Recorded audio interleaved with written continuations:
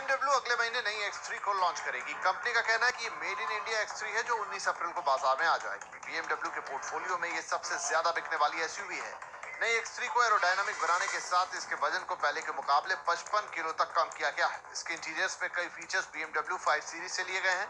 इसमें पहले की तरह पेट्रोल और डीजल इंजन का ऑप्शन होगा। पेट्रोल वाली नई X3 में दो लीटर का इंजन है, जो 248 bhp का पावर जनरेट करता है, जबकि डीजल वेरिएंट में भी दो लीटर का इंजन है, जो 190 bhp का पावर जनरेट करता है।